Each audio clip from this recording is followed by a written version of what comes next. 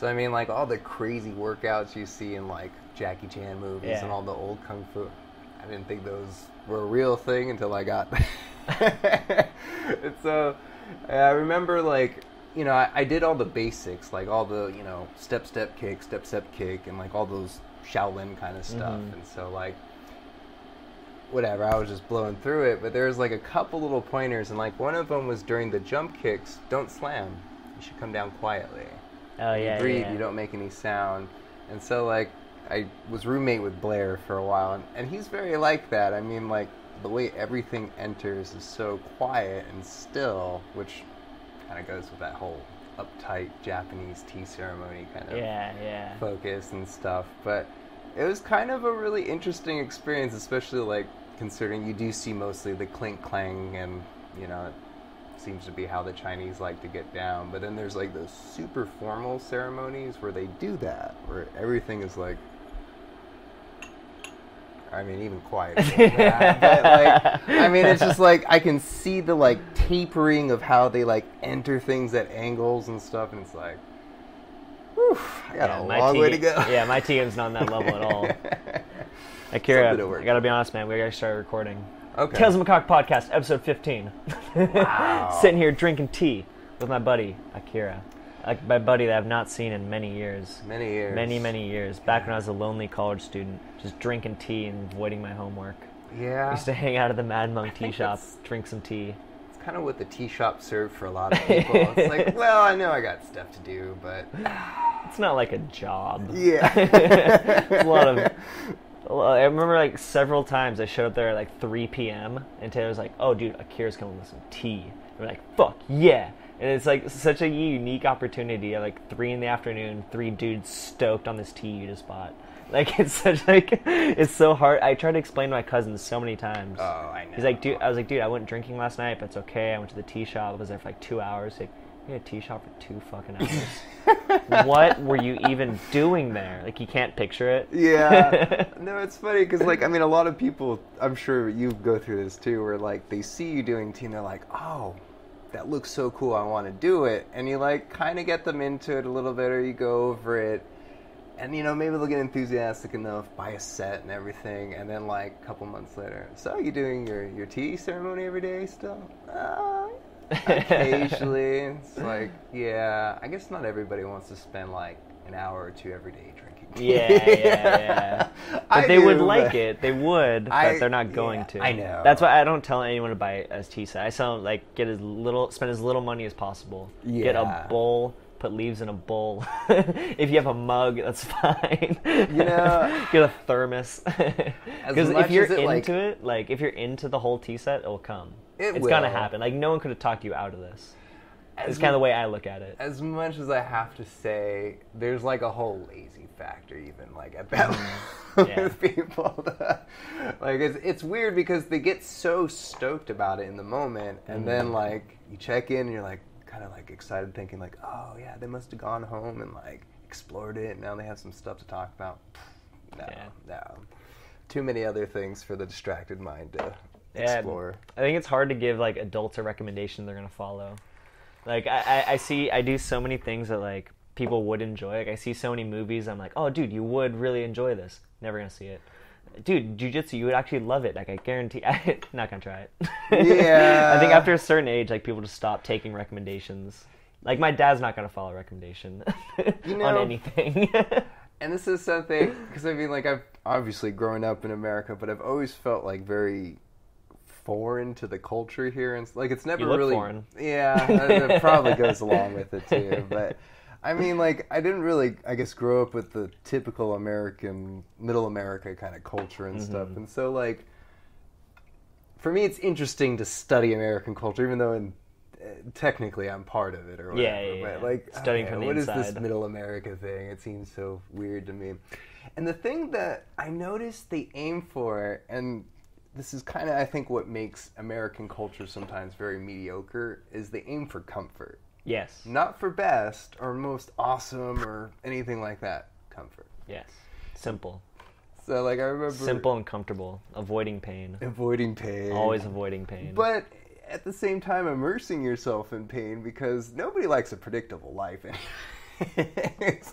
But you know, then you get into it, and all right, well, maybe it's about you know just having this predictable thing, but then having to get over that the prediction is not really what you want, or Right. you know, you don't want the foreseen future. You kind of want the surprise about it and stuff. But I remember I was talking to a friend a few years ago, and I was like, yeah, I don't know. Just she was a really smart person and stuff, and so I was like, okay, so what is up with like the whole thing where sometimes you see girls will like oftentimes go for kind of the douchebaggy typical mm. guys The age old question. the age old question.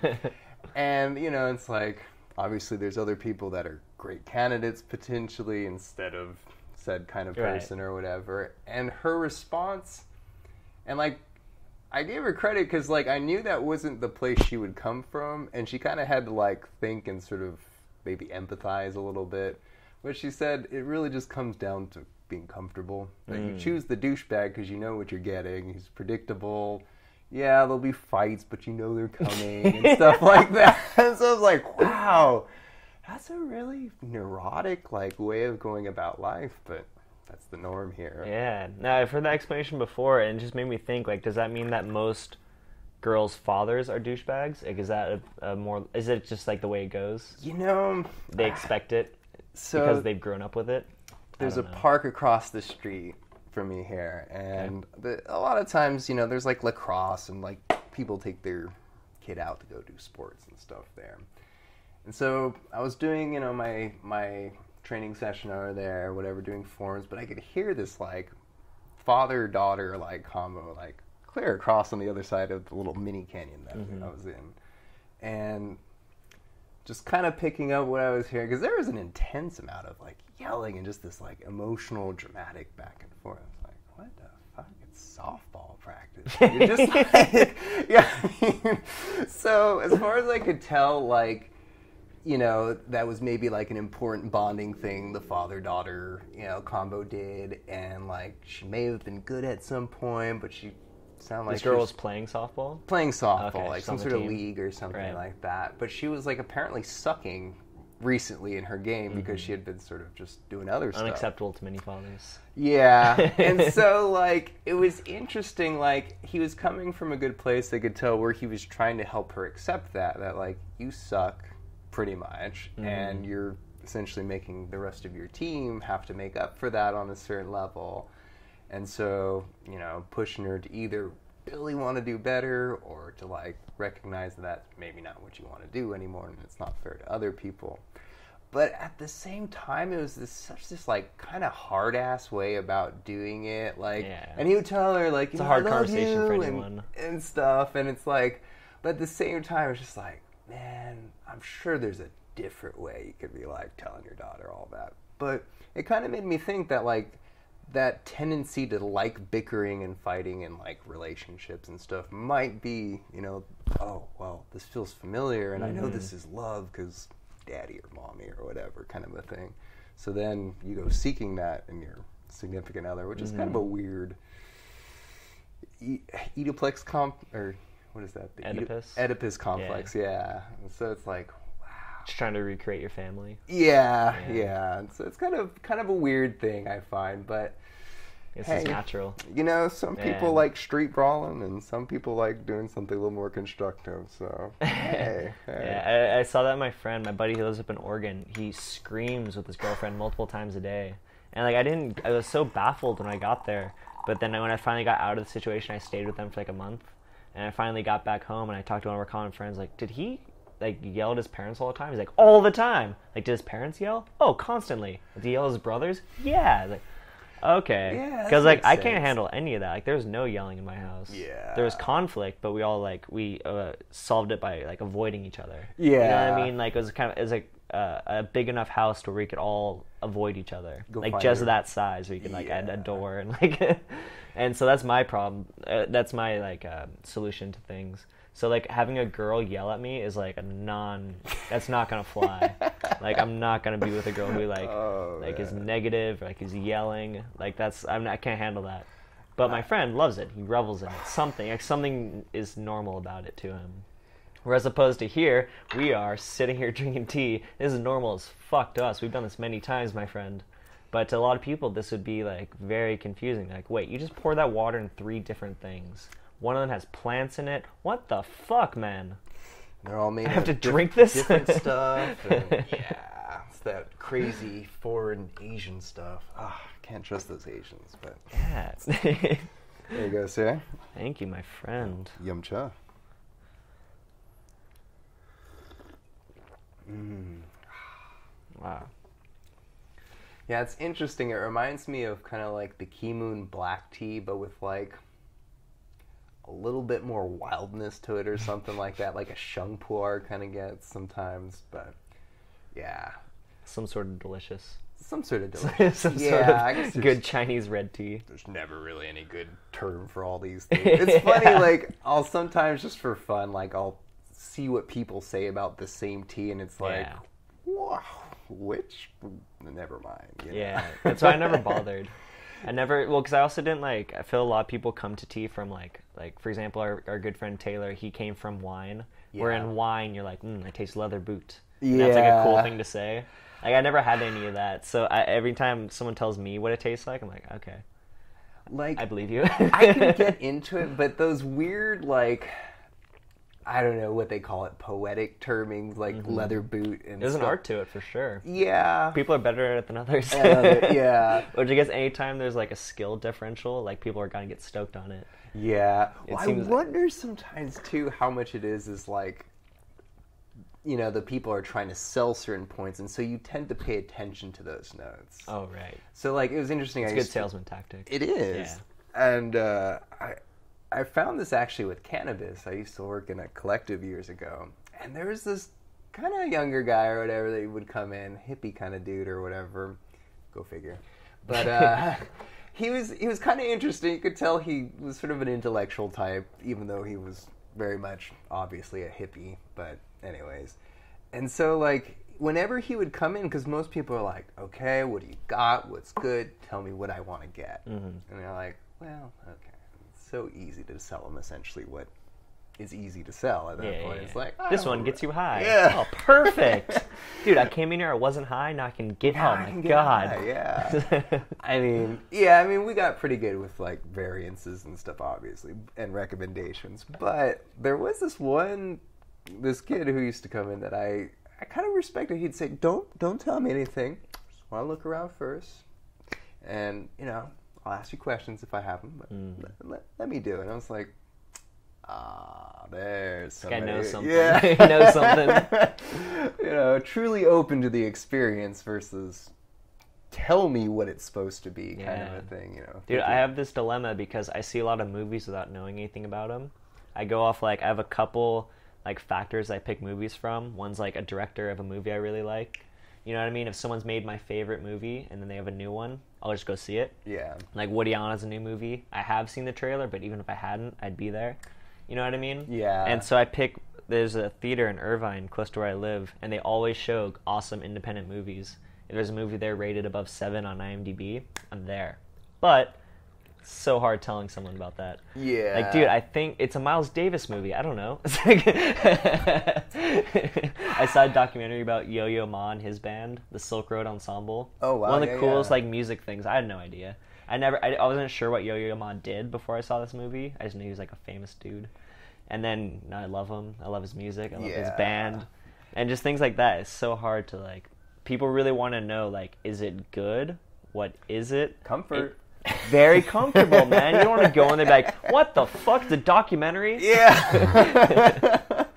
well, you know, there's that other thing too. Like, you know, learning challenges you, where and that's not always necessarily comfortable for Mm-hmm. people. I notice, you know, people that like documentaries are people that are kind of a little bit more alive in in that sense, where yeah, they want to find out more about life, not just sort of be given a reiteration on a screen essentially Mm. and you know a lot of it's I don't know, kind of nichey and sort of mindless these days Mm-hmm. I find like I, I watch things or I don't know I don't really watch TV but my roommate does and I, I overhear it all the time I'm just like the fuck is this house hunting in the Caribbean like why like that doesn't make any sense and then somebody in the real estate agency paid a lot of money to get that on there to boost their whatever Yeah. you know, sales and No, uh, what I It's- found, man, is like because I, I spent two years in Asia, right? Two solid years. Yeah. Like not watching any TV, like being very outside of what's going on.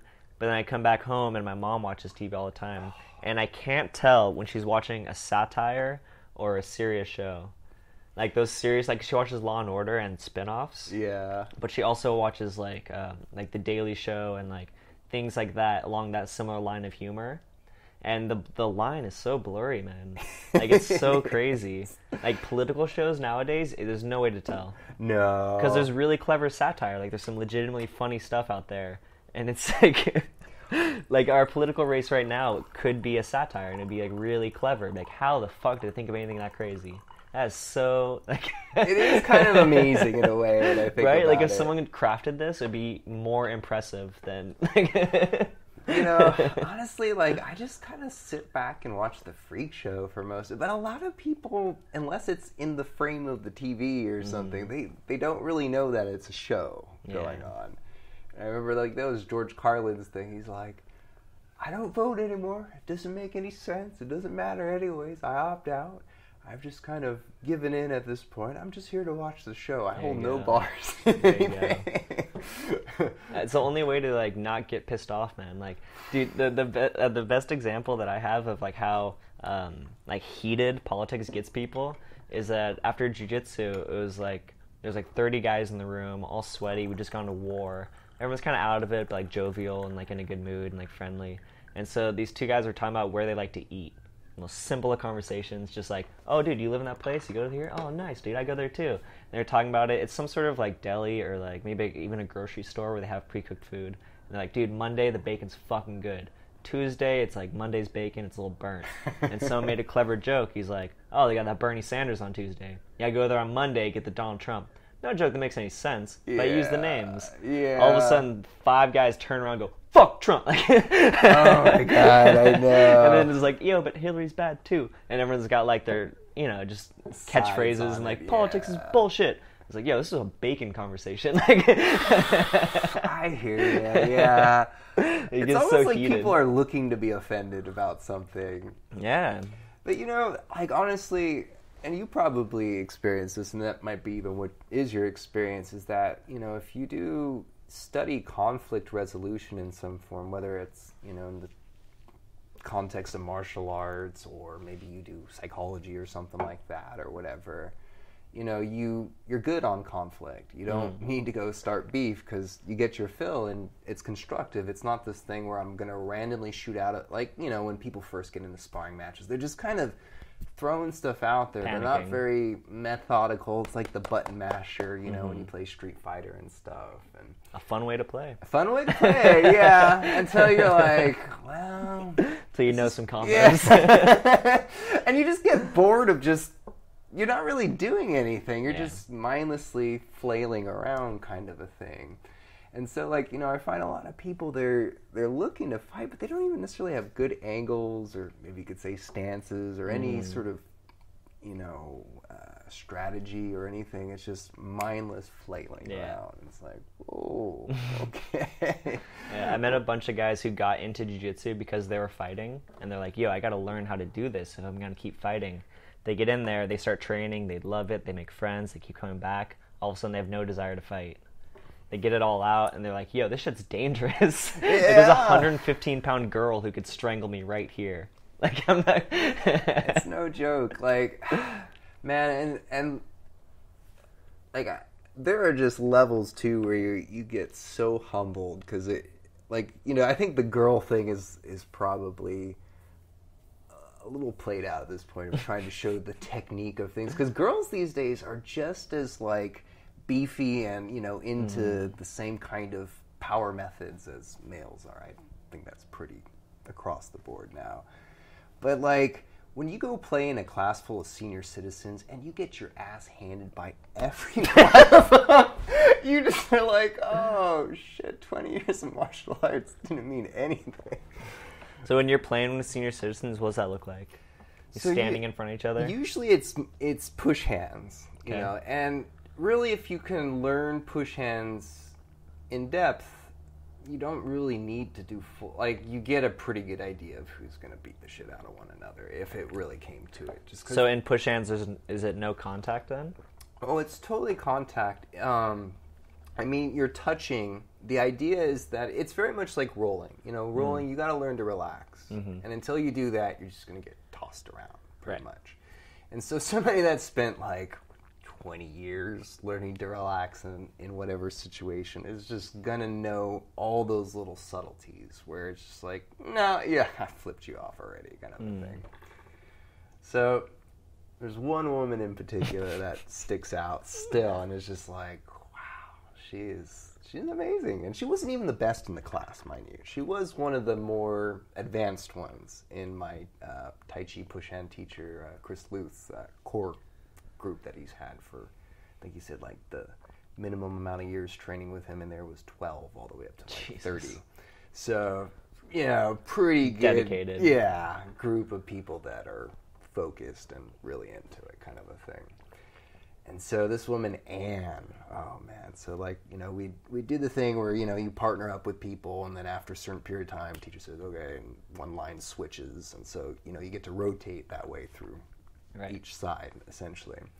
So I got to Anne, and I'd never played with her before, or whatever. She's kind of she's taller than me, you know, definitely like 60s, maybe 70s or something like that. Um, full head of white hair, you know, all that jazz. So okay, and so you know, like kind of like you know when you touch hands in jujitsu when you're standing, there's that kind of feeling out game. Usually you go through and you're kind of feeling for that point to just pop the leverage off on Right. them. And so uh, a lot of times, you know, if it's between more equal players and push hands, that is kind of what happens. You're doing this sort of feeling out. It's a little bit softer, I think, on average, but it's kind of the same principle. But the moment I would touch hands with this woman, so it's like, you know, you go here and, you know, you, the moment you like do that kind of a thing, just Touch your hand or her wrist. just yeah, you know, not even like pushing yet.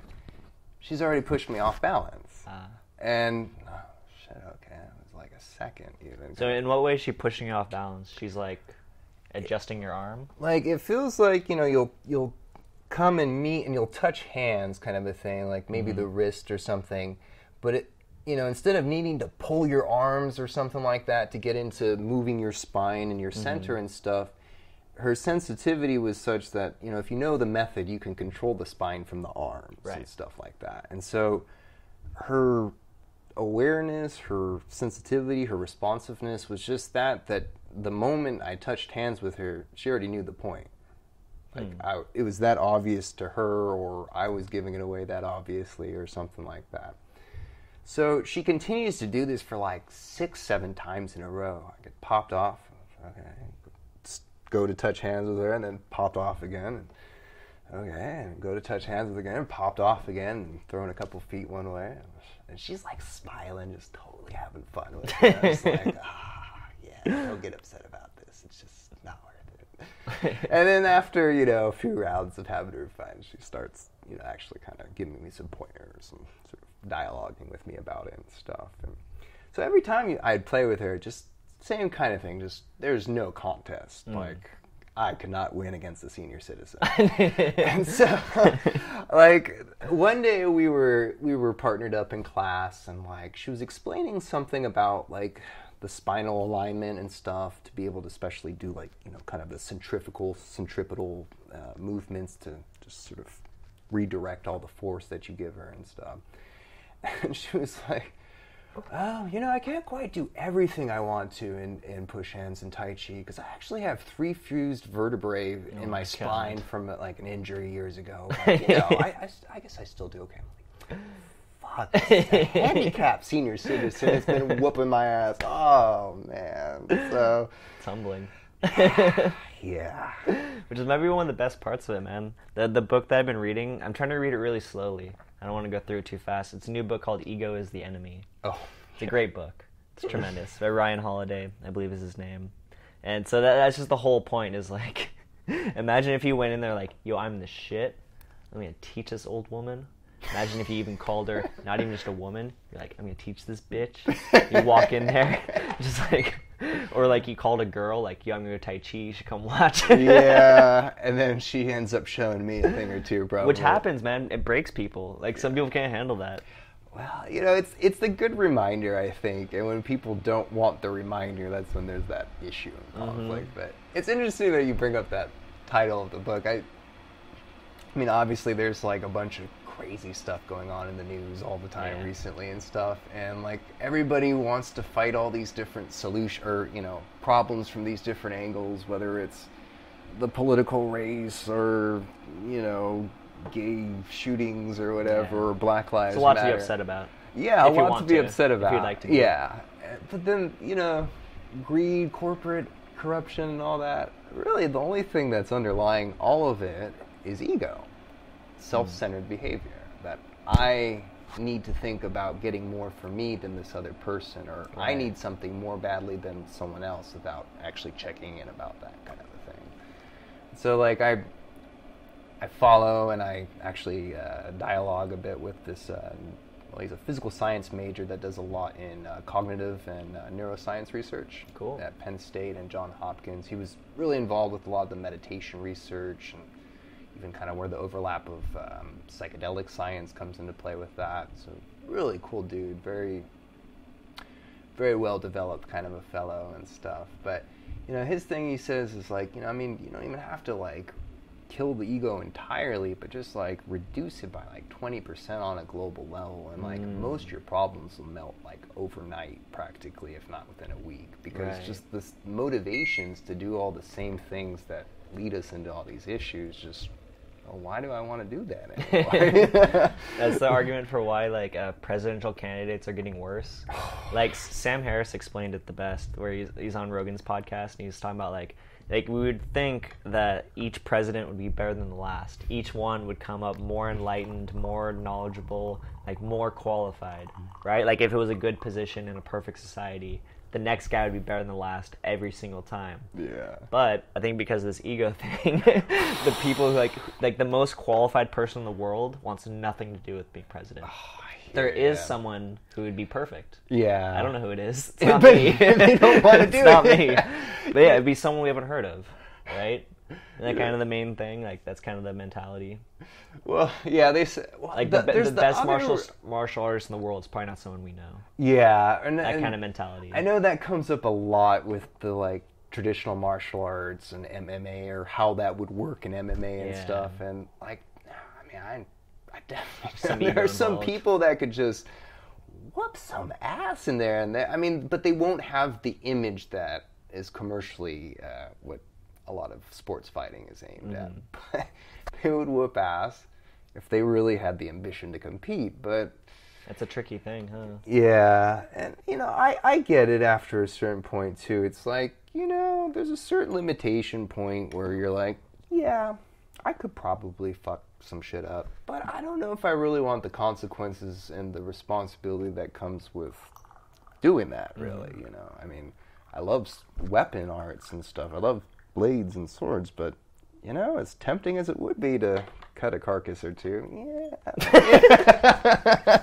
so I play it other ways. Like Jesus Christ. I remember, like one of them, and I used to work at um, Sprouts or whatever, and uh, I'd have to like stalk the registers, and the registers get busy as fuck, you know, just people lining up and stuff, and but you know, I still got to go from each register, and it's like back and forth constantly to fill all the little uh, temptation. Uh, racks things that they Little got there to try and get you at the, the checkout Always get me. always I'm yeah. so so susceptible. you know that's psychology It's candy man. and it's cheap. Oh my god. Yeah. Don't you need this? You know you need it. Ah, dude, So I was stalking all those uh, temptations, and it occurred to me at a certain point. Oh, well, you know, there's this whole thing in like trying to make sure you're being realistic about your cuts and stuff. Like, am I following through? And you know, it's not just like a bat. You smack something. You actually have to. You know, if you've ever seen somebody like a sushi chef cut, you know, it's a very um, particular and very focused cut, and you know it, it follows the length of the blade. It doesn't smash the blade on somebody like you know. I think we Game of Thrones would probably get into with that style of fighting, where it's bash, bash, bash kind of Mm-hmm. A thing. The simplest form. Simplest form, yeah. The most logical.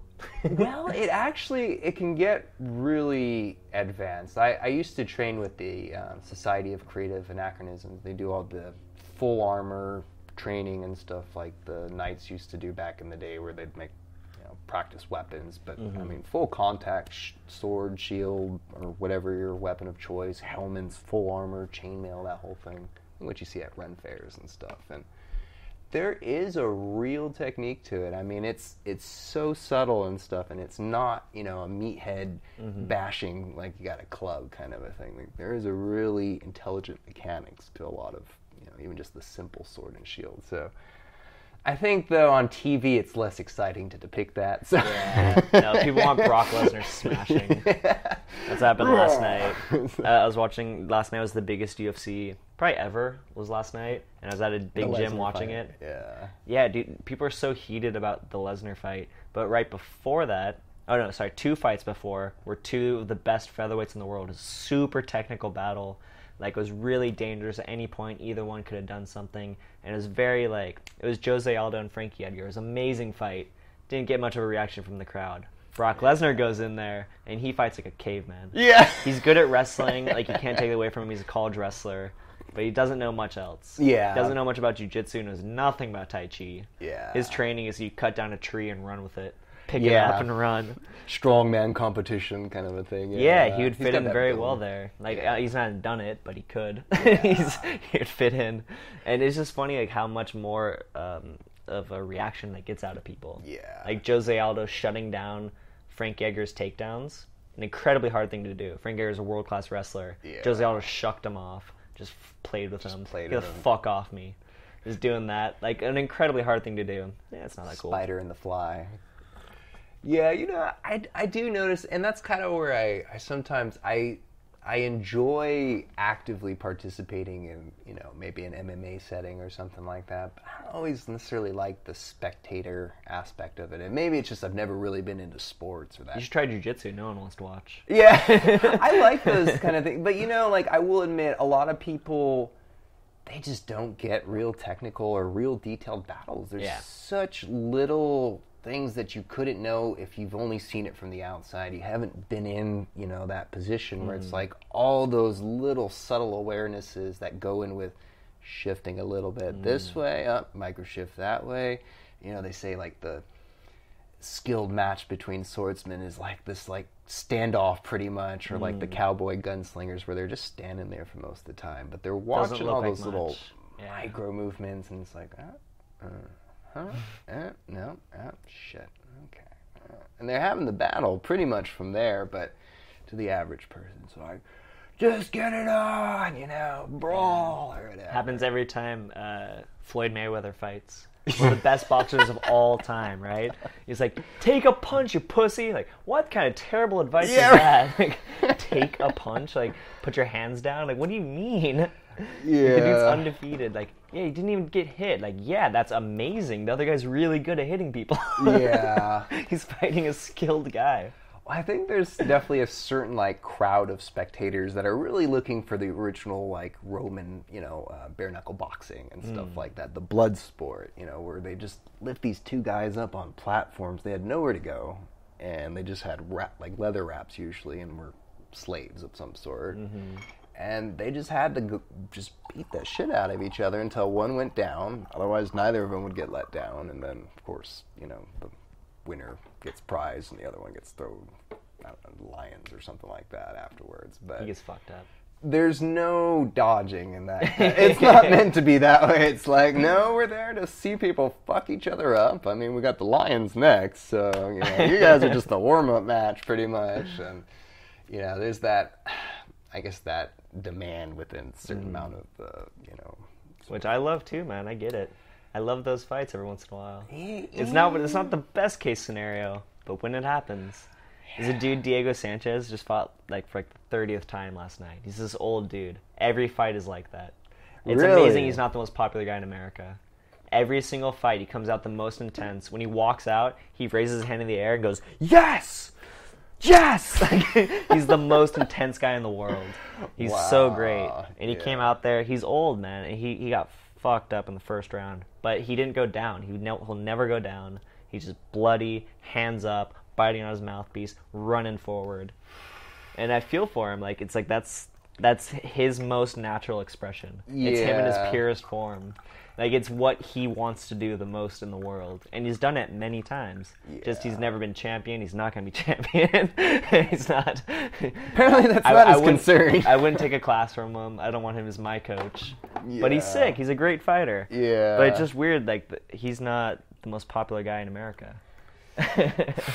Well, yeah. I don't know. Like, it's not always logical. who's that? Um, McGregor. Conor McGregor. Yeah. Best shit talker Like, in the world. hon- But honestly, too, like it was kind of cool when he did lose, and he's like, you know what? Yeah, fuck it, I lost. I'm not. He had a like, great I'm a human. Like, Yeah. period. Like, get the fuck over it. You shouldn't have been expecting that to begin with. Like, that's just not realistic. And I want to see you get in here and make a difference. If that is the case. Yeah.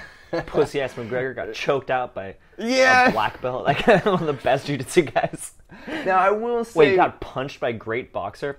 There are some that still like kind of disappoint me with the loss, and it's not that they always take it bad. It's just like, ah, really? Is that still where the game is at? Okay, well, give it another ten years, kind of thing. But like when Silva lost, I was like, the first time, not the, se- the second got time was kind of knocked just out by Chris oh. Weidman.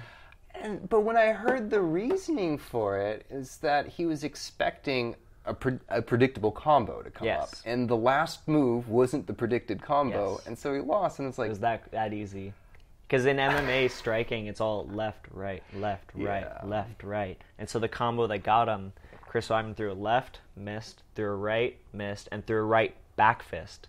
Not a good move, not like a strong move. Yeah. But just enough to fuck up his timing. yeah, Yeah. You know, that's all it takes really for most if and it surprises me there's not more sensitivity training to deal with that to where you shouldn't have to think in pre pre conceptual kind of fighting and, and so mm-hmm. on. It should just be whatever flies at you is what you gotta relate to right then and make the best of it kind of Yeah. a thing. But, you know, like it was fascinating because, like, obviously, Aikido's kind of got some similarities to some of the the soft style arts. Like, you know, judo is actually a soft style, or jujitsu it means the soft, gentle technique, mm-hmm. essentially. And so, like, all right, It's supposed to be gentle. I got heel hook today. Yeah, no. Oh, and not that it's it's not hurtful. It's gentle for the other person executing it to you. Yeah, yeah, yeah. It's more gentle than getting shin kicked. Yeah. yeah. Well, even like I, I remember seeing some of the like old videos of like the I think it was like one of the last tenth dans or something for one of the jujitsu traditions. But like, I mean, all his like eighth, ninth dan, you know, holders and stuff that seemed like they were probably his dedicated students. I mean, they're all big and you know definitely kind of ripped and stuff. These Japanese guys. Yeah, and this is just a bald, skinny old man a. Mm-hmm. And they're going to try and throw him every time, but he's just so relaxed that they, they don't have any tension to throw him with because you mm. need a spring in somebody. That's why you do joint locks is to create that condition to Right. Tighten up and pop them off and leverage them. But no, he just like like they try to take him, you know, take an arm over their shoulder from the from the back and you know flip him over, mm-hmm. and he just like piggyback on him for that moment, kind of a thing. Just like hang on him, like hey, whatever. And that'd go on for like a few rounds, and then all of a sudden he'd come down like it looked like you know he got pulled up because he was the guy was trying to execute a throw or something on him, and then he went down, and on that that time, then he just drops and flips the other guy because nothing. Think you. dude just relaxed the whole time. Yeah, that's a weird thing in fighting, man. Sometimes just like going limp is like, like that's all you could. What? Like Drunk I've had a? I've had a couple like um, black belt instructors do that. Like when we're training, Yeah. they'll just go limp, and it's the most like demoralizing thing because I'm not trained for that. I'm used to like those reactions, like you said. Like I'll grab the neck, not trying to finish it because he gives up the arm. And then one time, my coach in Taiwan gave me his back, the worst thing to do, right? Like in theory, and then raised his chin, exposing his neck, and then just laid there while I couldn't choke him. It's like, It's- all right. I've learned nothing. Structure makes so much difference, especially when you get to those higher levels Yeah. and stuff. I mean, this guy's a black belt. I can't even touch that. If it fell on the floor, my hands would burn if I t- picked it up. This guy's a black belt. He's been doing this a thousand years. Yeah. yeah, it's that difference in sensitivity too. Like, you know, as soon as you put your hands on him, he's reading you better than you probably read read what you're doing in the situation, kind of a thing. Everything I'm doing, he taught me. Yeah, as well. that too. Yeah. I you're gonna, be doing you're gonna wanna, you know, got the odds against you, but yeah, you know. but yeah, you know the the thing with with a lot of the, I think the the truly because I mean even when like Silva was at the top of his reign and Machida and all that, people were getting bored with those matches. They they didn't like it, and you know, like I, I remember watching. are these T- dumb people? and they didn't really get that much extra training. I mean, it was just really, to me, very basic stuff when I mm-hmm. saw Seagal, Steven Seagal, doing the, the training with them and stuff. And like, there's the one video with where he's showing Machida how to kick, and it was like, wait, really? Machida doesn't know how to kick like Right. that already? Like throwing kicks and he really two. like he was like sincerely kind of like, wow, yeah, this is fucking a game changer, you know? Because like the the kind of standard MMA kick is either the Muay Thai kind of kicks, which don't Roundhouses. it's roundhouses Yeah. mostly. There's not too many front front kicks with that that work. least. Anderson Silva did it once. Yeah, Now once does it. once. Teep to the face. but I got popular. you know, like oh, what was I gonna say? Oh, I forgot what I was gonna say. Steven Seagal Steven- oh yeah, yeah. So he was showing him just you know just fucking spear that thing, just Hmm. spear straight through, no hesitation. Don't lift your knee first and then push out like Right, that. You know, just straight to what you're shooting and then bring it back, kind of thing. And you know, like Machida was like he had those couple where it's the good kind of puzzled, where it's like you're confused, but it's that on the verge of holy shit, I feel something. I don't know what it is yet, but it feels useful, you know. Yeah. And then by the end of the video, he he'd kind of gotten it, sort of a thing. I was like, really? These are the top fighters at the time, kind of a That's thing. props to Machida too, man, because his dad's a karate master. Taught him when he was two. He's been throwing kicks for 37 years. I don't know how old he is. yeah, right. Been kicking 30, 30 33 is a more realistic number. Yeah. He's been kicking, and he was UFC champion. And then Steven Seagal taught him a kick. That's yeah, that was kind of where. But you know, I realized though that those are all the hard methods and stuff, and he's just saying no. Closest way to get or fastest way to get to a point is a straight line. So you know, none of these winding up kicks. Just bam, go straight through it. Keep going through them, and it's like, oh wow, yeah. I, I heard he had trained Silva too for a little while Yeah. or whatever, but, But no one could figure out if it was true. Because like Yeah. Steven Seagal is this kind of silly guy in the MMA community. yeah, Like it, I, apparently he's great at Aikido. I don't really know. Uh, who am I to say? I've But like Anderson. Silva's such a goofy dude that like when he talks great about Steven Seagal, people are like, is that Is it for real? like, he's not Anderson Silva's not really like a trustworthy guy, man. Like when he was champion at the end of every fight, you know, he won for nine years straight. Um, and then after every fight, they'd be like, Anderson Silva, what's next for you? He's like, ah, I don't know. Retiring. Gonna do some taekwondo in the Olympics. Like you just give these bullshit ass answers repeatedly. You know what I mean? That's like a yeah, characteristic of Brazilians him. are kind of like that. When I think yeah, silly too. humor. Yeah, they like to Smart screw ass. with you more or less. Yeah, yeah. well, when I think about it too, he's kind of already got it made. Like he could make his living for the rest of his life. Yeah, he's rich. coaching, He's fine. it doesn't- He's it got doesn't really matter. Yeah, exactly. He's got gyms. he's like, yeah, I really don't need to keep doing this anymore. To... And yet he fought last night on three days' notice. You know really? this? No. Jon Jones was supposed to fight Daniel Cormier for the light heavyweight title. Biggest rematch ever. Like a huge fight. He's going to main event UFC 200. Three days out, Jon Jones tested positive for something. Something banned. Some performance uh, enhancer. UFC's revamped their drug policy. And this is like... they needed to. Like props to them, man. They pulled their biggest star three. They didn't have to. This isn't like government mandated. No, they no. chose to pull them. there's a lot. Yeah, they chose to do it, and like so, props to them. And then Anderson Silva at 41 was like, "I'm in town. It's not my weight class. I'll go up a weight class and fight the champion." Yeah. Like Dan Cormier's the champion. It was just so great, man. Like he got destroyed. He wasn't supposed to win. Uh, yeah, yeah, he got yeah. fucked up. But like So- props to him, man. He showed up. in the third round he hurt Daniel Cormier, which is like the best he could do. He's not gonna beat him. yeah, yeah, it's kind of tough to just suddenly shoot up a weight class and take on the best in the class. Yeah, it's not a realistic opportunity. Where the other guy's been training for the biggest fight of his life.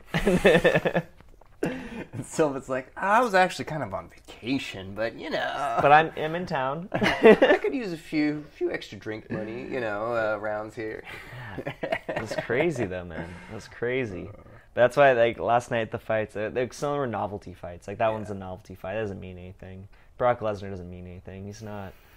He's not sticking around long. He's It- not it's teaching to any keep- seminars. Keep the grunts, you know, kind of happy, sort of a thing. But and I'm sure they enjoyed doing it. I'm sure Lesnar was like had a good night. you know what I Yeah. mean? Like i- if you're in that position to have that kind of power to call up Dana White and be like, "Hey, so my schedule's a little clear. Uh, I'm getting kind of bored with this WWE bullshit. Can I just fight in like the co-main event of the biggest event ever?" He's like, "Thank you, please." yeah, Like that's such a cool like. Like I remember I talked to this dude who was upset that LCD Soundsystem, this band who hasn't performed in many years, has come back. He's like, dude, I was at their last show, and now they're doing more shows. Like, yeah, but can you blame him? Like, Yeah. he has the power to like. They headlined Coachella this year, out of retirement. Like, how many people have the opportunity Wow. to just like, oh, that'd be so cool. I mean, isn't that what bands have always like? I can't remember like how it was like a joke after a while. How many like Black Sabbath reunion tours Yeah. and Kiss reunion tours and Guns N' Roses reunion tours? Like, They're still going, man. oh, really? Holy crap! I, I swear Axl should be dead by now, but yeah, You know, yeah. defies logic. Yeah. he's a rich guy. He got it. Still on going. Whew, but he's, he's got the the genetics to put up with that damage. It's like wow, uh, that's kind of a truly amazing human specimen. It's like a human cockroach on a certain level. They can just survive anything, nuclear blast or radiation poisoning and stuff. And Can't radiation uh, around. Axl Rose, man. Yeah. So my brother, we've been talking here for 45 minutes, man. Yeah, Going strong. going strong. So usually at this time we have a choice. We can keep recording, we can keep drinking. I brought some weed. I know you're a fan. I don't Definitely. know. I don't know if we can smoke inside. We got pause and go outside. I don't know the rules. Well, my roommate loves smoking too, even though she's a seventy-year-old woman. Really? So, oh, Oh, that's a big. You know, I didn't know that. This, this spot has a been 70-year-old probably woman one of the biggest blessings as far as like, I mean, it's been kind of a rough few last years in, in terms of like trying to figure out like jobs and income situations and stuff like Feel that, man. Yeah, I, Feel I'm that. sure. Yeah. But yeah, we should tell people, man. We're sitting here in this house. We're looking out the window. It's nighttime now, but when I got here, as the sun was setting, it was beautiful. So we you live sit over right by Mission Trails Park, which is actually the biggest nature park within a city limits in the entire United States. Yeah, right down the street is San Diego, the city. Yeah. On the other, right, right in front of us is a canyon. It's Well, sick. This is a quarry down here, so like during the day it's kind of noisy and stuff. I don't really mind it, but in the nighttime it's just beautifully quiet and Yeah. stuff. And we get like deer and coyotes coming through uh, the, f- the little front part that we have here. That's pretty much just like a little prairie almost. Yeah, I lived in Pacific Beach. We get homeless people coming. Yeah. you guys got deer. We got like we got the- dude looking for recycling. you got other scavengers in your area. yeah. yeah, that's funny. Yeah, no, this this area rocks. I mean, it's a little bit of a bummer because I I haven't had a car for a little bit, so getting around and not It's really the main vein for uh, public transit around this part of town Right. either. But you know, the balance of it definitely makes up for everything. So go be weird. I mean, I've got like a fucking pile of weapons all the time. I can. Oh shit! Yeah. It's a pile of weapons. that is, yeah, You a pile of weapons. You got your Oh. tea. An I Ching book. Yeah, actually, that's probably been one of the biggest. If you want to get into a little philosophy, that's been probably one of the biggest impacts as far as learning in the last few years. All right, so start at the beginning. What's up with the I Ching? So the I Ching is the oldest known literary text in Chinese history. Supposed to be over 5,000 years old. Before the Tao Te Ching. Before the Tao Te Ching, definitely, yeah. In fact, um, interesting note about the Tao Te Ching. So, you know, the the Book of Changes or the I Ching is based on this trigram and hexagram system. You know, these three or six, uh, uh, whatever line sets that are made up of solid or broken line essentially yang and yin.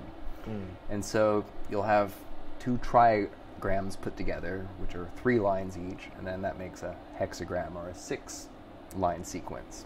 It's more or less like a binary sequencing, but they use this to map out kind of waxing and waning processes. So you could compare it to being like the waxing and waning of the moon, the rising of the fullness to then the waning of the, you know, to the yin cycle. And this applies to everything. more or less everything. Everything waxes or wanes. Are you saying that things aren't staying the Static? same? Uh, well, you know, I don't want to pop anyone's bubble. I want but- my politics to stay the same. I want my kids to never grow up. You know- Are you saying things They, change? they, you know, it is the book of changes, so you know, it's an unfortunate truth to accept, but it helps a lot. So. But like, I'm not gonna change, right? Like, I'm 25. I know everything about the world. I'm done learning. well, I'm not gonna change. You can have the perception of not changing. It just really sucks to deal with the consequences of that perception. So- now, I mean, I'll say not every copy of the I Ching is great. Mm. There's a lot that got really into alchemaic stuff or just measurement systems for the world, which is kind of more in the clever mind of humans instead of the intuitive mind, which is kind of what the more philosophical uh, Taoist uh, approach to it is, or at least the school that I have followed the most philosophy from is the complete reality Taoist, which have some of the better, I think, reputation for being consistent and pretty on point with a lot of their teachings and stuff. so many people listening are like, what the fuck is he Yeah, talking about? I know. What's this Taoism bullshit? bullshit, right? so Taoism is essentially Chinese shamanism that later, when it had to become something formal, it decided to call itself Taoism. It was really just more or less a kind of um, a basic, you know, Chinese folk, uh, I don't know, culture, folk religion in a way, if you want to call it that. The customs varied from province to province, area to area. That kind China's a big place. It is. a couple yeah. thousand years ago, it's hard to get them on the same page. well, so it took obviously a lot of forms, but the thing is, is that there's certain schools, and I think it had to do with you know kind of the times. Usually, some of the better stuff came out of really intense you know uh, periods of history, like the Warring States period and stuff in China, where it was just constant war back and forth, and so having to like really evaluate suffering and you know address it and stuff, they came up with some pretty awesome stuff out As of that. things are changing. in front of Yeah, right. Yeah. so, so this one I feel is really good. You know, like the Tao Te Ching, the I Ching should be a mental exercise. It's not a fortune teller to tell you exactly what's going to happen, how to predict it. You can use it in ways to help you come to that point of being confident in what your path is, or mm. if you've asked it for help or whatever. But otherwise, it's just a really fantastic read. Just you know, you pick maybe a couple every day to read, one in the morning, one in the evening, and then you get through it all.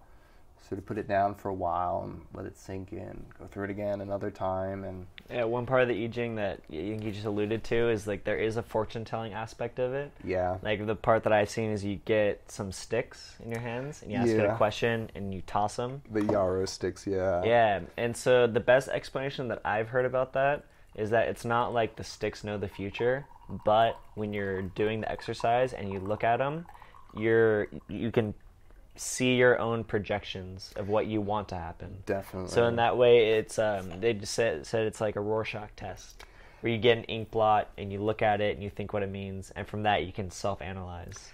It So in that way, yeah. it's helpful. I think the best way I heard it was from Alan Watts. It's like sitting down with a wise old gentleman. He doesn't tell you what to do necessarily, but he'll give you kind of a general discourse of what to consider about it. And you kind of have to feel it out, not necessarily analyze it entirely. So, like, for instance, um, the lake trigram represents joy, uh, also metal. And then you'll have things like um, you have the water trigram, which represents uh, danger, but it's also sort of the path to uh, development and improvement. We obviously go through hardships and challenges in life to grow in certain ways and stuff. So if you Not can me, have, man. My life's easy. yeah, you know, some people, some people are just born with that right karma. Dad pays my bills. It's Yeah, fine. jeez, uh, must- must. No pain, no suffering. You'll get there one day. but uh, yeah, you know, like so, like if you took those two right there, so we have maybe we have the water on top of the lake, and so usually the bottom one kind of represents the internal process of what's going on, and maybe you could designate the top one as the external process of what's going on. And so uh, you can look at this as it's a sort of a developmental thing to have joy within danger or hardship and stuff is sort of a quality of the enlightened mind. And so there might be a discourse on how one might do that on or you know give different examples of that of you know somebody who's not hung up on the particulars of life takes you know the struggles and hardships and stride and chooses to grow from them instead of suffering from them kind of a thing. A lot easier said than done. yeah, well, there's maybe an interesting term you, you'd probably uh, enjoy looking up. There's a really good Wikipedia article on it. Uh, Post-traumatic growth, and mm. this is something actually I try to promote a lot because we get stuck on issues, and so we have PTSD instead of PTG. Mm. And this concept isn't necessarily like super new. It's been talked about in a bunch of different traditions, from Buddhism, Sufi, Taoism, all that, all the way up to psychology and the you know modern era, so to speak. And so what it talks about is really just that that whole bit of okay, yeah, this sucks and so on. I might have to suffer some injustices in life even, but that's it. You know, that's what it is. And so you know, I can either groan about it and get stressed out about it and suffer as a result of it, or, well, it's not easy, but keep going and, you know, see what you can do at that point. But I like that post traumatic growth. post traumatic growth. I I think that's why I like. Um, I've been doing so many uh, jiu-jitsu tournaments, and when I ask or when I tell people about them, like, "Yo, how did I go?" I'm like, "Oh, I got destroyed." like, "Oh, your life sucks now." like, no, like I know what to work on. Yeah, Like, exactly. I know, like I know nothing about. Today I got heel hooked. I don't know anything about heel hooks. Yeah. I don't know how to do them. I don't know how to defend them. It's not a surprise I got heel hooked. Yeah. But I do know what it feels like to get heel hooked Yeah, now, no. which is really important because in the gym I don't know. I, I tap. I quit. I Yeah. quit early. But dude, I got heel hooked today.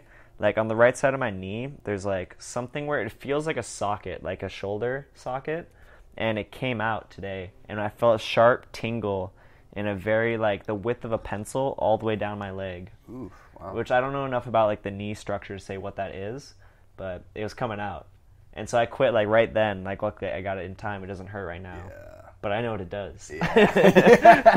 You know, I know why they're frowned upon in a lot of competitions. It's super important to know what you're doing if you're going to be doing something potentially dangerous. Yeah, you gotta know like worst case scenario. You need to know a little bit of the pain so that you know what you're doing to other people and what you Mm-hmm. don't want to do to other people. It's important info, and it, it's not something I can get like in the gym. Like, all right, man, do it until it hurts. Like I would know. yeah, no, I know. you gotta find out in competition when you're trying not to. Like, But you know, that's a good mentality. In fact, that I mean, relates to that. You know, joy within danger, joy within mm-hmm. crossing a, a great river is the metaphor they use for seeking the challenges in life and mm-hmm. so on. So, you know, that's I guess an example of what you could say the I Ching can present to you. Now, interesting, the the Tao Te Ching is written in a similar. Like I thought, eighty-one passages was random, but it's um, it's a tetragram system. So, never heard of that before, but it's like a. I think it's like a four-line system or something. They use two sets of combinations of lines of either solid line, broken line, or double broken line. Which, yeah, I know. But okay, so you know the um, the I Ching is based on you know the figures of eight. So Ba Gua is the eight trigram system. There's 64 hexagrams in there, so eight times eight equals 64, and altogether there's 300 and whatever it is total sort of lines altogether. You know, Okay. they, so they going off. It's kind of like there's a there's different ways of doing binary system and so on. And so the uh, Tao Te Ching is actually written in that context and stuff. And there's like a tetragram for each passage that goes with it too. So haven't read as much into that. It's like a whole nother theory on doing that approach, and I, I just haven't been ready for it. But we'll do another podcast in ten years to break this down. Finally, start making some sense. yeah, but you know, it is actually out of the best copy of the Tao Te Ching I've come across, which was um, suggested to me by my uh, Tai Chi teacher I mentioned earlier. Um, it's called the Tao of Power. Mm. So if you ever want to check it out, it's kind of a trip. It's a little much to take in, but I'm into it, man. I, I like Taoism. I took a Taoism class in college, but I was such a punk. Uh, in my last two years of college, I didn't read any books. Like, just it was like a business major thing. Like, I remember my sophomore year, I was in a class where I was the youngest guy in there. You can take class out of order, and I was like, I was trying to like make conversation with the older kids. I was like, guys, I read the chapter, I didn't get it. Like, you have the book. And so Really? some, something about like the way they looked at me, I was like, I don't get books. And so like it stuck with me. I was like, man, I'm not gonna do this bullshit. But it was like a dope class. Like his philosophy is like, even my Zen Buddhist class, I read the books out of order because I really wanted to. I wanted to like know them, but I was like, I'm not gonna do it because you told me. well, really, like a thing that I look back on and regret is that mentality. Well, But it's not too late. it's not look too late. Yeah, I can and- read books. And I haven't know, forgotten hey, how to read. maybe you read the things that have maintained an interest that you wouldn't have had otherwise. You know, It's true. Because you know that's the thing is there's, as they say, eighty-four thousand paths to enlightenment in Buddhism, Mm. and really the one for you is depending on where you're at in your life and stuff. And so, you know, there's certain conversations and dialogues within Buddhism that's not useful for everybody based Mm-hmm. on where they're at. It'll be useful maybe later in their life, but you know, Buddhism. So actually, I'm part of the Buddhist Education Committee at the San Diego Buddhist Temple. In fact, I'll be finishing up my last of a three-part uh, lecture series uh, at the end of this month. You're giving the lectures. Given the lectures, yeah. And so part of what my intent with the talk was to show was to go over some of the different reforms and developments of Buddhism as it traveled, you know, as it emerged out of India, traveled out of India through China and into Japan, and eventually will end up here in America because Buddhism's still continuing to develop and mm-hmm. so on. It's evolving in front of our eyes. Yeah Which is cool. That's why I kind of like it. it's alive, you know. Yeah. And you know, interestingly, we're actually kind of fortunate in America to have that phenomenon because in other parts of the world where it's tradition, it's kind of it's become the old thing, you know. It's mm-hmm. not really exciting and new, so the enthusiasm for it's not quite there anymore. Buddhism is pretty sexy in America right now. yeah, it is. And then I learned about it in college, and I was like all up on it. I was reading, I was meditating, I was going to retreats, and then I went to Thailand, where it's a it's a Buddhist country. Oh, yeah. And I tried I tried to ask people about it, and they're like, "What Buddhism? That Yeah. bullshit." Those people like, Well- it's like coming to America and be like, "Man, Catholicism's dope." You're like, "What?" The thing my grandpa likes. What Yeah. the fuck? Well, in Thailand, cool. it's very different. So I think what most of comes over here, and not to say that the Theravadins don't come over here too. Um, It doesn't travel as well. yeah, well, Theravada is pretty much a way of teaching Buddhism exclusively for monks. You really don't become part of the learning community or the Sangha or any of that unless you are a monk in those forms of Buddhism. So the lay people are kind of just like, well, whatever. We know we're supposed to give them alms and food or whatever. And all Give up your seat yeah, you know all those things, and but uh, they don't really understand it in that way unless it hits them for some reason that they want to give up their life and go be a monk. So Mm-hmm. Which I found out works a lot like uh, joining the Night's Watch. Yeah. Like you become a monk because you rape someone, and they're like, "You're jail." Yeah. or you like save your family's face and Yeah. go be a monk. Okay, I'll go be a monk. That's a big part of it too. There was that too, political refugees and all that too involved in it and Yeah. stuff. So, but the Mahayana vehicle, which or school or tradition of it, which traveled through most of you know, it went up. To, well, Tibet became Vajrayana at a point where it took the Mahayana and the Theravada that had developed in India at the time because it wasn't a split. It was just like, well, we want to try and attain enlightenment through recreating the Buddhist path, which is the Theravadan way. You live like the Buddha. Hmm. But then the Mahayana vehicle is to make it for everybody, essentially, that everybody has the Buddha potential within them and they can awaken and all that kind of a thing. So it's just two two different methods on the same route, essentially. Right.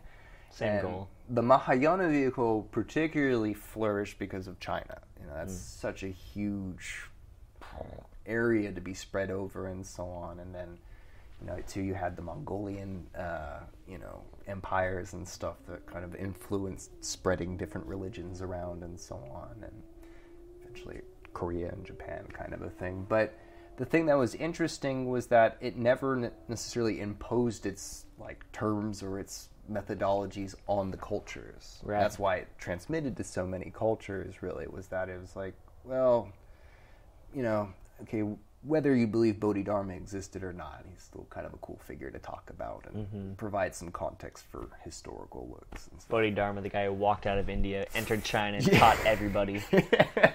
well, like taught Buddhism, Kung Fu, and tea. exactly, like dude was a A total historical legendary badass, figure. right? But Yeah. like, you know, like when he got to to uh, China and stuff, he was found like, you know, these are just dudes that just read all day, like they're just mental masturbating all the time, and like Bent back bitches. kind of well you know the term armchair buddhist or like uh, nightstand buddhist where they're very well read but uh, the uh, application or the experience of it in their life is it shows it's They can talk about it, but yeah. they get upset a lot. yeah there's, it's just They have not road rage. real for them you know kind of a thing so Buddhists with road rage. They work out. yeah exactly or, or any meditators like oh so peaceful and then oh fuck that guy i hope you get bad karma or something like Yeah, that you know yeah. there's that whole thing It's like as far as insults go, that's like a pretty easy one. Yeah. I hope your karma gets worse. Yeah. It's, like, it's pretty gentle. I, you know, I guess there's an upside to that, but still, it's that you know they're not really. They left the pe- the practice on the pillow, essentially. Yeah, yeah. And so, like, you know, Bodhidharma would like notice, like, man, these monks are kind of bitches. Like, they're lame. like, they can't stay awake during my dharma talks and like Mm-hmm. make it through the meditations. They're like falling asleep sitting up and stuff like that because really their their body was not very well conditioned and Right. stuff like they had essentially assumed just by studying and creating good merit that they would become buddhas but in fact the zen teachings of bodhidharma was pretty Yeah. much just like fuck all that shit um, you don't use a buddha to find the buddha Right. so he was talking about like buddhic images and like you can worship and chant sutras and study, you know, the doctrines till the end of day, and you'll still never get it. You fucking suck over here. like it's kind of the spirit of some of the the sermon. So he was there to reform, essentially, and he knew yoga, and thought, well, yeah, I could teach them the yoga to get them, know, kind of into the body mind, you know, uh, thing, but whew, China's kind of an intense place. There's like two major like dynasties in this area, and they're like fighting for control. And even within a certain dynasty, there's a civil, you know, war thing for control and Just so- bandits. Bandits, and like all the crime that comes with that and stuff. And of course, you know, the temples were easy targets for robbing. so, Right. like, they got hit, and so Bodhidharma was like, "Hmm, well, you know what? Hmm, I'm gonna teach them the the trade of military and like bandits and thieves and stuff, and make them into badass spiritual warriors instead, so they could hold their own grounds and stuff like that." So he reformed it. The other thing too, like China was really big on was like they love nature and they love life. And Indian culture kind of is like it can get a little detached from life for certain I think cultural perspectives and stuff where oh it's not about this world, it's all illusions here. Mm. Everything is the illusion or the maya of Brahma and stuff. And so there's this kind of nihilistic tendency that can develop sometimes from that way of thinking. And so the Chinese didn't really like that. They're like, life vows for being a monk? Pfft, What about fucking training? Like, what if I gotta go like work somewhere somewhere Yeah, later yeah. or whatever? Like, I got a job, man. job. Yeah, it's like I got like two or three years I can do with this thing, and then I need to go out and herd some oxen or something. You Mm. know, make some some money or whatever you got to do. Take care of your parents, maybe, which is you know, that was another big thing in Chinese. Yeah, yeah, yeah. The son's piety. always taken care. Oh well, that's like the ultimate duty of a child is to honor your parents the highest you know possible way or esteem that you can, and so on. So, you know, like. All right, are you in the monastery because you're trying to escape the world? Like sometimes people just be mad at their parents or something. Like, oh, screw you! I'm gonna go be better than you or something like that. And you know that's not appropriate. It's like, no, dude, you still got karma out there that you've been ignoring and kind Mm. of being irresponsible about. Get the fuck out there, you know. Um, there's that Andy Lau and Jackie Chan movie Shaolin. I don't know if you. It was a pretty good one actually, but like Jackie Chan was like the Shaolin temple's like cook. He would make all the like steamed buns and mm-hmm. stuff for the, the all the monks and stuff like that. But he wasn't like necessarily like like he knew how to fight really badass and stuff. And he he does this really cool fight sequence towards the end where he's like using all his like chef tools As these- expected. as expected, you know. but like Shockingly, he fights Jackie Chan. You never think of you know, and he's just the chef or whatever. But like, and I guess like when he was younger, he tried to do the kung fu, but then like he would get too, I don't know, excited or aggressive all the time. So he decided to focus on. Mm. He's cooking. too good at it. Yeah. Like, people always want to say like, "I was there, but I was too good." well, no, he, I he's slam dunking on everybody. he Like, get out of the pretty NBA. much said like he couldn't like focus and control. Like he said it just didn't really work out. He was good at it, but it wouldn't work out for him. So he just decided to be more focused and simple and practical. So cooking Steam buns. and you know he was very comfortable with his way of life there and you know kind of took pride in being in charge a little bit and stuff and there's a part where the head the abbot or the head you know whatever monk of the temple Top dog. just and he's he's this character I've seen or an actor I've seen before. He always plays the most like perfect old calm like kind of enlightened Tai Chi master sort of a character. He was in um, Keanu Reeves' Man of Tai Chi and then uh, Wu Ping also the Tai Chi master. Anyway, I didn't see any of these. any of those? All right. Well, Man of Tai Chi is a pretty decent one if you haven't seen it already, but Okay. recent one. Anyways, but just this like perfect, cute grandpa sagely character. You're like, ah, I want one of those in my home. You know, like, like, hey, grandpa, can you can you tell me something I need to hear? You look like you have something I need to hear today. So- Excuse me, sir. What is the meaning of death? Like, ooh. Hmm. well, let's have some tea. but like, there's this part in like in the movie it was like halfway through where, you know, he was kind of telling Jackie Chan's character, he's like, you know, there's dharma or teaching to be done, good things to be done out in the world as well too, as in the world outside the temple. And Jackie Chan's character was like, oh yeah, hmm.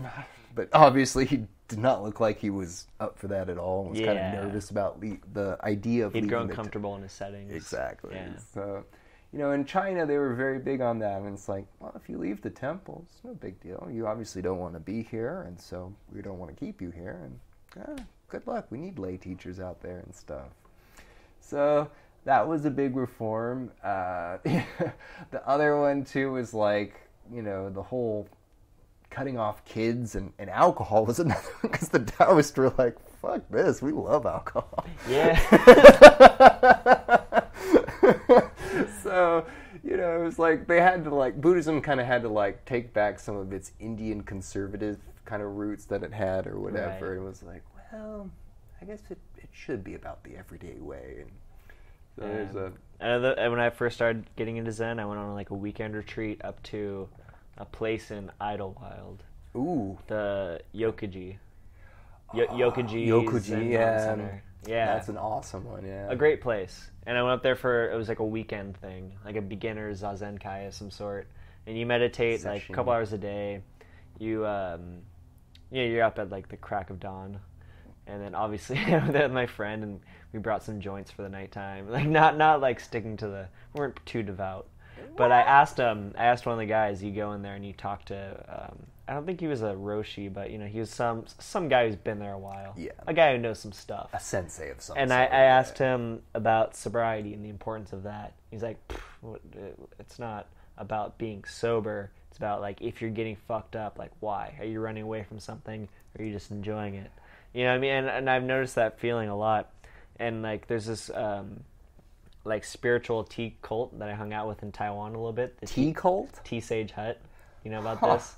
Hung out with No. the dude Wu De. Oh, you'd love it, man. It's great. They just meditate and drink tea, and they have like a magazine they sell. Like it gets really cool. Like it's really good stuff. Taylor was just there on his most recent trip to Taiwan. oh very cool And um, anyway, so he made a really good point that I think about a lot. It's like it's not that alcohol is bad, but it is bad to drink it if you don't want to yeah which I've noticed a lot because like there's something about like guys my age I think it's kind of coming down, but they want you to keep up with how much they're drinking. It's a comfort thing. They don't Yeah. want to feel that they're in excess. So if you so keep I have up to with them, slam yeah. Coors Light. Like, well, I don't want any part of It this. doesn't man. make them look so bad, then you know.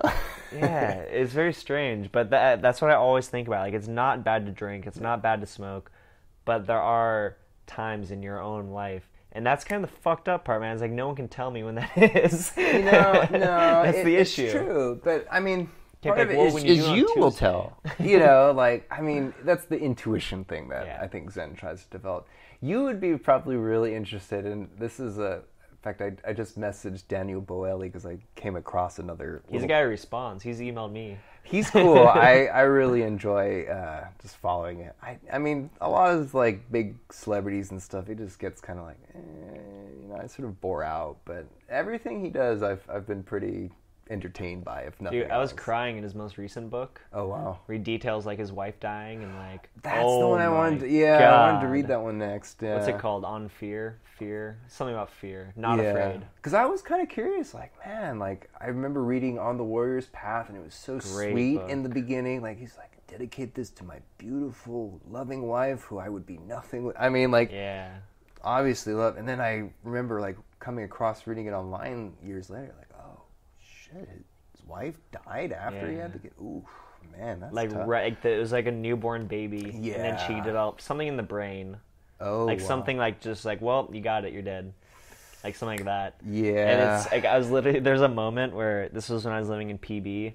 Um, all my roommates were there. We had like, a friend over. They're like playing rap music and like smoking weed and playing chess. And I'm on the couch trying to read that book, and just like like choking back tears, and they were Yeah. like laughing and like having a good time. And like, what the Such a contrast. fuck? this kid who just had a baby. Oh my god. yeah. His wife's dying. She was so cool. Yeah. Well, the thing I, I guess I would be most curious is just like he has such an awesome mentality. He's very into Taoism for a Westerner, I find. Yeah, and, he's and an very good Italian at it. Very good at it. He it. gets it.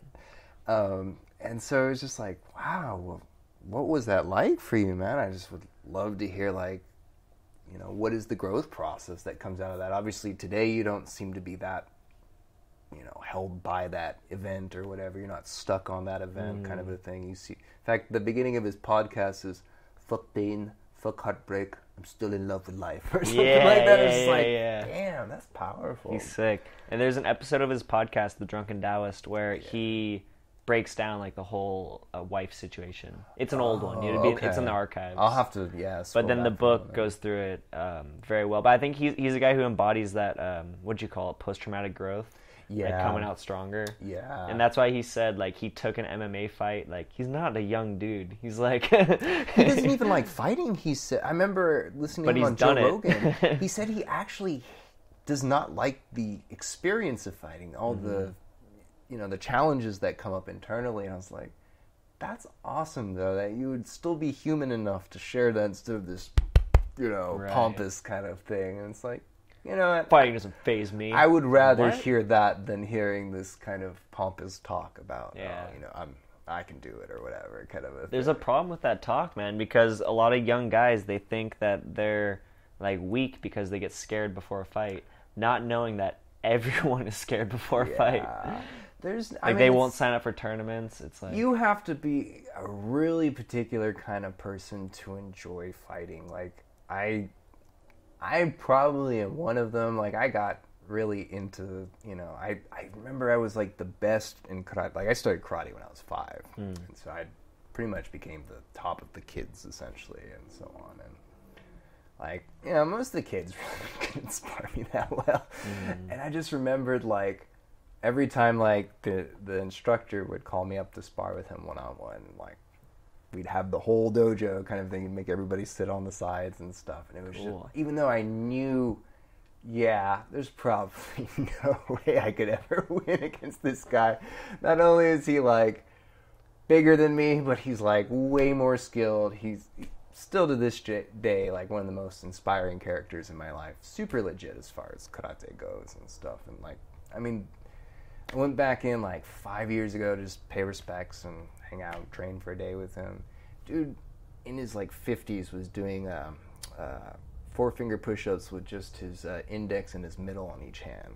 So two fingers on each hand, two fingers on each hand, and extended doing like- push-ups. and he was he he like demonstrated from the class and like he's like yeah and I'm working on one finger on each hand I'm just like Jesus Christ. what a dude and so but I just remember like when I would spar him it was so exhilarating like I was I loved it and I remembered like It's the best when I got old enough to have sex and stuff and like it was kind This of is like karate. it was in a dis- no it was kind of disappointing in a way Oh. because like it wasn't that same enlivening experience that I Mm. had already known. Kind, of, I mean, years later with the right people, partner and stuff. You know, It can be It like can that. be It's like not that. always. Not always. Not it's got to be the right partner, obviously. Like Another certain- thing a lot of guys don't want to admit.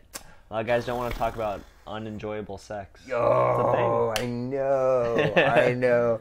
I can't stand it. Like, if I mean, if the person is just not sensitive enough to like meet you, then there's probably a lot of other things that are going to go wrong with that. Yeah, exactly. situation. It's a bad sign. It's a bad.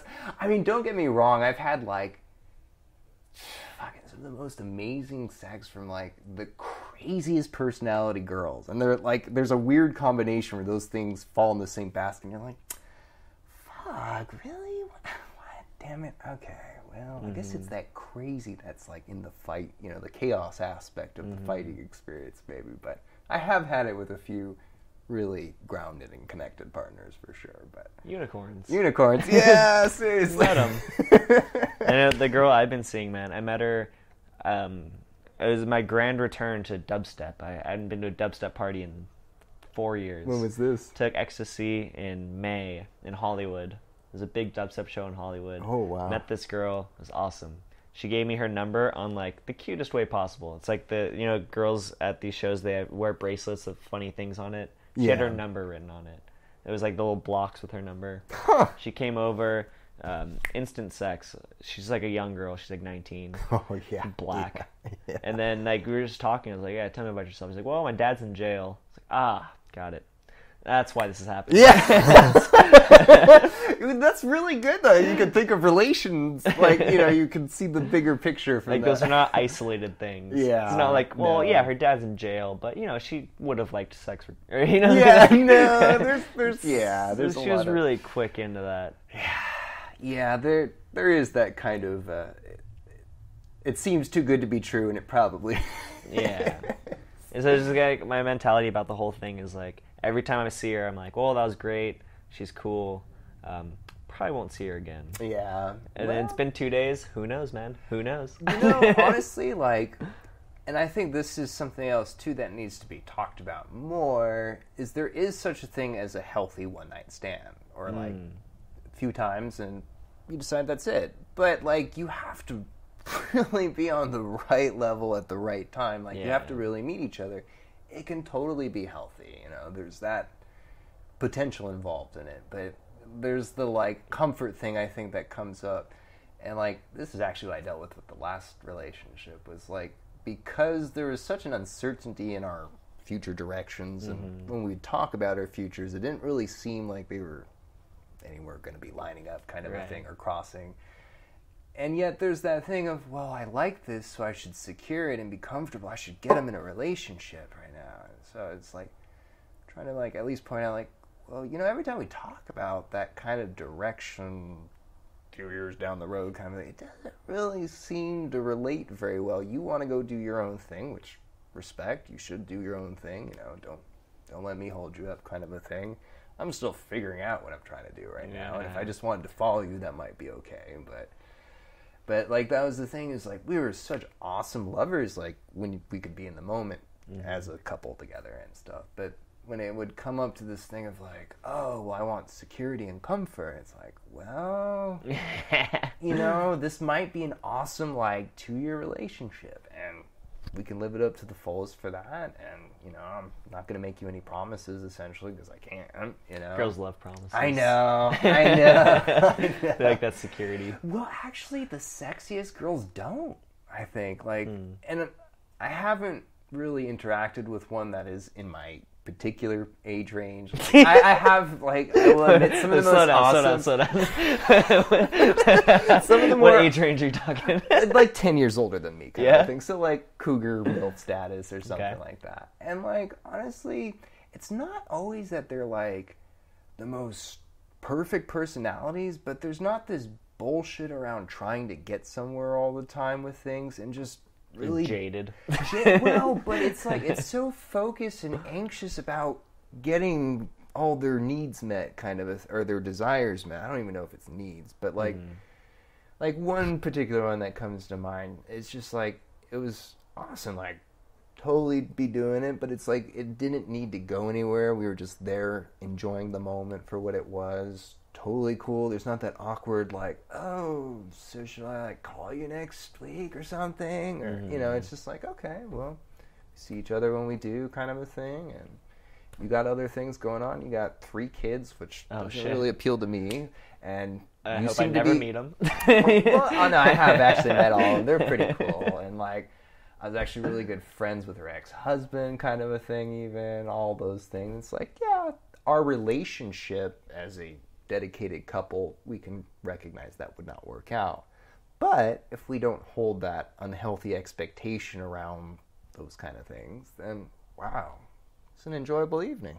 and then, you know, we had like quite a, I think like three or four in the last couple years or something like that. But man, you know, like I think a lot of people in our age are usually they're so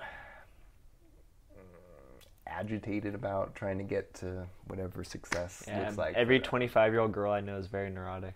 yeah, It's like how panic. She's feel. like, I don't want to work, but all these guys are dicks. Ah, God. yeah. and I think there's a big thing with 25 year olds where they know that they're not getting any sexier. like that's like a big part of it. Like they're not like a 25 year old girl can walk into any bar. I'm thinking of like a PB type scene. Can walk into any bar, go up to any guy and take him It home. only gets more as you get because 35 year old girl, Yeah. it's gonna be she's got to use some strategy or like Thirty is, I think, where it, kind of gets that point because, and you can see it. Like, it's funny because, like, I can notice like the people that I've known for a few years, and then the like weight gain that people just blame on age starts happening. It's like, Yeah. oh, well, yeah. When all those factors of your metabolism and your physiology aren't there, then you start kind of tripping about that. I'm getting fat, but I exercised three years ago. What is this? no, I used to bike all the time. just not anymore. yeah. Which I understand, man. I got really sick like two weeks ago, and since then, something about it like I was, it was completely cleaned out my system. And since then, I've had terrible diet. So I feel for people who have terrible diets. I get it. I've had ice cream every day since I've been sick. yeah. Well, giving into you at least can can put those things together, but a lot of people don't feel the terribleness. At least not overtly enough to like deal with. they don't go to jiu-jitsu and feel like they're gonna die. Yeah, there's that. yeah, that Which is why I feel lucky that I have that in my life. Like, I, it's so many times I'm like, okay, I could be drinking this beer, but you know, then I'll, I can't do seven rounds. I might be able to do six. you got a, a. I got to fights coming up. I did a tournament today. I'm doing one in six days. Next Saturday, I'm doing another one. No heel hooks in that tournament. Thank God. I think Thank I'll do a little bit better. yeah, Got a But there might be that other move that you just don't know is coming. That's going to Oh, totally yeah. take you off. Yeah. Bring it. Show me the moves. you know, I find like if I have the expectation, yeah, I'll probably get, you know, something knocked out of me or something like that. But oh well, that's probably. Yeah. I usually do better for some reason, or you know, it's just the kind of that let go mentality and stuff. I don't actually do much formal grappling arts outside of what's included in a lot of the systems and stuff. I mean, the Chin Na stuff really is a lot of the same mentality that you're mm-hmm. learning how joints work and how things lock up and how to control the body and stuff like that. So my kung fu brother uh, Dan, I think you met him once at uh, Mad Monk. Uh, it's like the Possible. anyways, dude, I look up to as far as like an kind of an older kung fu martial arts brother or whatever, just in general. But um, like he's been doing jujitsu for the last few years, in part because his daughters were getting into it and stuff. But I mean, this guy's been like Badass reason to do it. fucking. I mean, he, he's got a background as, at least as monstrous as mine. I mean, I don't actually think mine that big or monstrous, but to a lot of people, I guess just the number of years sounds Yeah, intense. So You haven't stopped since year five. Exactly. yeah. so you know, for him, he's been. He, I think he did karate early on, like me too. You know, did uh, wrestling all through high school, various forms of it. Did a little jujitsu, got into the kung fu and stuff like that. Served in the military, special forces for a while. Scariest man in the world. Well, he's one of the most loving, humble kind of people, Thank and just awesome to be around. so. But um, yeah, you know, so he's been he's been rolling for a couple years and stuff, and he's he's good. You know, I mean, he keeps up with the instructor there for the most part. You know, I mean, he's one of those guys where even though he doesn't hold the black belt, you're like, yeah, I wouldn't. Yeah. Can't can't put too much on the belt. on the belts. Yeah, I know. I noticed that. Yeah. So he pulls me down uh, one time when we were hanging out um, last year or two, kind of a thing, and I was like, uh, at first I was like, yeah, I don't usually, I don't deal with grappling that much because I figured, I mean, I can grapple. I have no problem. I'm comfortable grappling, Mm-hmm. but honestly, most fights actually end standing up. Really? Like, it's until somebody, I mean, in a combat situation, you know, and I haven't really had that much of an interest in sports competitions. So it's like, like if you learn like martial arts, pro, like MCMAPs, for instance, the Marine Corps martial arts program, and you know, I've talked to at least a couple former uh, recruits that went through the program and stuff. Yeah, it's not like engaging stuff. It's punch the guy in the throat, move on. Punch the guy in the nuts, move on. Yeah. Like you have a mission, and fucking with these guys individually is not your prerogative. Like Right. you need to stay as that unit, and that team. It's quick, effective, concise stuff. Um, I think um, one of the friends he was telling me like when he got his essentially like they have belts, but it's just really the, the same military belt. But if you're in the, the program, you actually get colored ones based on your rank. So I think he said when he went up for green belt, he was actually required to take um, an anatomy class as part of it and stuff, Cool. and learn you know the way physiology works just from the general medical perspective, and then apply that you know to your combat situations and stuff. So you know, like a lot of, I mean, if you're in real, you know, like combative military situations and stuff, there's almost always weapons involved. Mm-hmm. You know, there's hardly any bare fist fights on the fields. Right. days. So you know, that's the other thing too is you got to be quick. You know, you don't have time to go on the ground. There might be another guy out there, pop, pop, take you out pretty mm-hmm. quick, kind of a thing. And you know, the ground fighting really does not work. Yeah, you in the shouldn't do like like my my strategy in competition is I pull guard. Just send like Yeah. today it worked out. I grab his wrist and sit. Terrible idea Yeah. in street fight. Like don't don't do that if he has like you just kick me in the face. Like yeah, yeah. Or if we're on concrete, When you get into like concrete. jujitsu from the samurai, you know, traditions and stuff, it's a totally different art. Like course. it's maim and kill and destroy, rip things apart, and then move on because there's plenty of other opponents out there Mm-hmm. Yeah. to start playing with and stuff. So, but you know, like I guess in the street fight situation, just because a lot of people don't know how to target things correctly. I mean, like it's something that I, because I used to like getting into regular fights too. Yeah. like at school and on the streets and stuff like that. But like I would actually watch like street fight videos and stuff, and it's fascinating. Like, wow, is this really what most people get tripped up about? There's so much telegraphing. There's so much untrained movement. No wonder it just ends up in a, a struggle that gets on the ground and stuff. Like, you know, if I'm in a street, gonna si- fall Like, I'm not gonna play nice. I'm gonna pop your eardrum. Probably, you know, you know, there's a lot of deterrent things. Like if you smash down on the nose, I mean, you pretty much break it, and Oh, just the blood coming out and not being able to breathe. It's just, yeah, it's not a pretty situation. Going for the throat and just not fucking around with exchanging blows and stuff. Yeah, you don't want to break your knuckles on his face. Yeah, well, or, on his I forehead. mean, I wouldn't think I would. I mean, I would use meaner methods probably. I mean, like, there's all kinds of things like you can use really concisely in a fight. Like, there's increase in knockout where you have to hit from a couple angles simultaneously, like you know, essentially temple and neck, so that you get that maximum. Uh, essentially brain rocking going on. I see. Hitting the forward and the back as well will kind of it's that you know leverage that you're Right. pop kind of going there like that, and you know you knock people out that way, and then.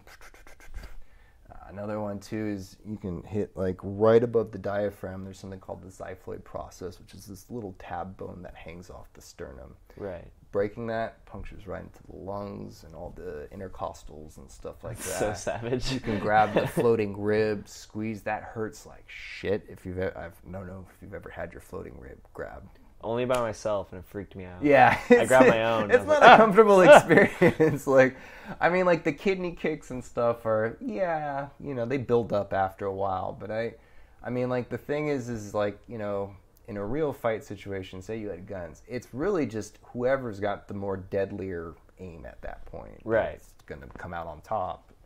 And so it's like, you know, okay, I can struggle with all these things and stuff and deal with your symptoms coming at me, or I can just go right for the root and stuff. And like in Xingyi, for instance, like we don't actually kick above really the waist. Everything's at the kneecap for the most part and at the ankles. Crushing ankles and then like like a couple of them are meant to actually knock off the patella.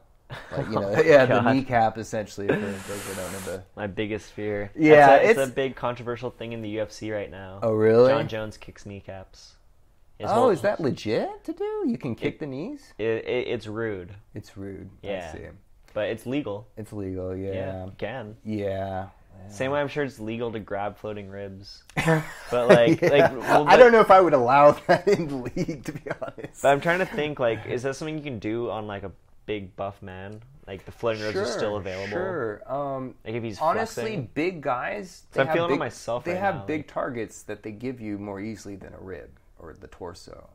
So, like, particularly with guys that have the big, bulky arms, like, if you've had hard enough Charlie, a lot of people have had Charlie horses. Like, you just don't use those limbs after a certain Mm-hmm. point. So, like, I mean, like this comes up in Tai Chi fencing where they have essentially the or sword where they have more of that fencing sword, and so like one of the things that's brought up is a lot of it's really just it's cutting your wrist and your hands. So, like they don't really aim for the most part, you know, to go for a lethal kill right off the bat or whatever. They might in certain situations, but Is it cutting the wrist in such a way that you bleed out? um, no, it disarm you. But the, Oh, the just so methodology the or the theory is that like if I'm aiming at your heart and your target is my hand, you have a way better advantage. Oh, I see. It's easier to hit the yeah, hand. the it's like I'm gonna have to try and come all the way here, and you don't have to even reach that far compared to getting to my heart, kind of a thing. that makes sense. So, you know, like the the thing too with um, like the the Xingyi and stuff is like they don't fuck around. They just go straight for like you know all these big muscle you know areas, and you just you fucking you do like um, scorpion knuckles or whatever, or you know really just slamming the shit out of everything. So they throw that jab, okay, bam. You know, you you check and then hit hit check just like the same way Muay Thai is just taking out your legs constantly, Yeah. just pop pop. I'm surprised more people don't do that with the arms, like especially if you start hitting the deltoids and a lot of the bicep, triceps. There's a lot more discouragement that tends to come up when your arms are really aching in that. Like I said, mm-hmm. that Charlie horse sense, like you see with people when the good Muay Thai fighters just taking the shit out of their legs, they're limping practically. Yeah, it's a big thing with like head kicks, where to block a head kick, the easiest way is to raise your hand. Yeah. They say that's block, that's blocking, but like not really. I You get kicked in the arm. It's, it's uh, you got to spin. That's the that's the best thing you can do is just Spin out of it. yeah, because the at that point instead of meeting the force, you can at least do some of the you know that centripetal centrifugal movement to kind of knock the bulk of the force off your midline axis. Rolling with the punches. yeah, essentially. So you know, just go with it. Don't resist it because resisting is what hurts. Yeah. but you know, like the thing in especially like you know we have in in the internal arts is just ripping that shit out of the tendons, really. Like, and there's mm. so much in the especially the wrists that are really delicate. The arm, the elbow's a pretty good one to fuck up pretty easily, especially if you can get the sort of the pressure on the wrist, twisting the forearm, and then shooting you know things back up where you have the torquing pressure that's put on the elbow then. See, yeah, you're twisting your arm all contortion style. Yeah. Another one that's really it's fucking tough to do. Like I didn't know that this was the technique that I was practicing in, in a form for a long time, and then my teacher showed me. I was like, ah! it was like the first kind of flinching that I had had in a while with training. But there's this thing where it, it just looks like you're, I don't know, doing like a rolling choo-choo train motion with your arms, and then you'll, you know, kind of plant the the two arms forward, and then you take a shuffle step and you kind of turn over and and make a fist. And it's like, all right, like punch or something like that. And my teacher showed me the hands go into the armpit cavities, grab the axillary, squeeze, rip, and twist, and shoves them up. So like That's ima- the muscle. yeah. So Grab like the, the so, like- under pec.